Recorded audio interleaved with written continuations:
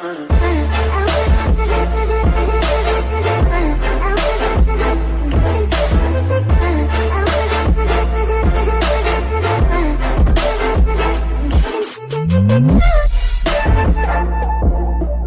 guys, how are you today? I hope you're doing well. If so, then let me know in the comment section. And today I'm back with another interesting story, and this is going to be two-shot. So this is first part, and the topic is Ragnarok Deku. So without further wasting time, let's get into the video and make sure to like the video and subscribe to the channel and press the bell icon for the latest notification.